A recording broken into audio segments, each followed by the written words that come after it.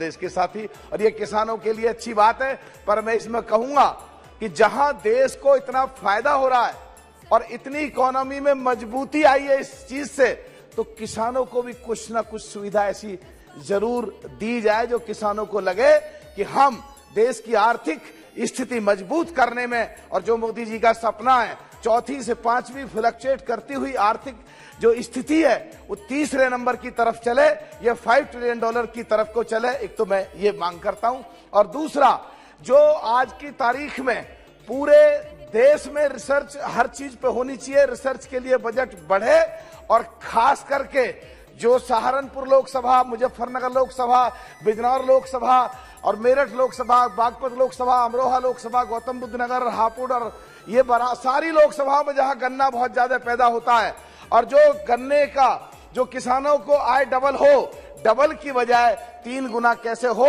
मेरठ में ऐसे एक रिसर्च इंस्टीट्यूट की स्थापना की जाए। एक बात और कह रहा हूँ साहब, बस बड़ी मज़ेदार बात, क्योंकि ये माहौल ऐसा बनाते हैं, हमारे जो सामने बैठे हैं सरकार के या बीजेपी के साथी, कांग्रेस वालों का तो पत्ता साफ़ कर दिया, एक भी नहीं सब भागे हुए हैं, खाली मैदान पड़ा जो चाहे करते रहिए।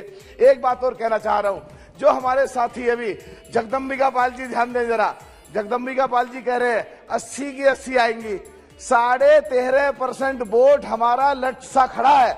आपके साथ मिल गया तो 80 यहाँ भी और 50 सीट बाहर भी। पंजाब, राजस्थान, मध्य प्रदेश, हरियाणा, महाराष्ट्र सब में कहीं हमारी 9 परसेंट, सात परसेंट, चार परसेंट, ढाई परसेंट, तीन परसेंट वोट है। और अगर तुमने नज़दीक को न लगाए दूसरी तरफ़ चले गए?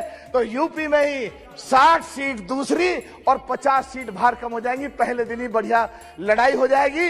लेकिन इसमें कुमारी बहन मायावती कह चुकी है कि चारों पहले तो अलग लड़ेंगे या चारों प्रदेशों के बाद समझौता करेंगे। 80 की अगर बात करनी है बहुत-बहुत तो धन्यवाद। ठीक ठाक बात कर लो। बहुत-बहुत धन्यवाद। पश्चिम उत्तर प्रदेश में अनुसंधान क्षेत्र अनुसंधान केंद्र की मैं मांग करता हूँ जिससे किसानों पे और you. बाकी इतना ज़्यादा रिसर्च हो कि उनकी आय दोगुनी की बजाय तीन गुनी हो जाए धन्यवाद श्री सिमरन सिंह सिमरनजीत सिंह मान जी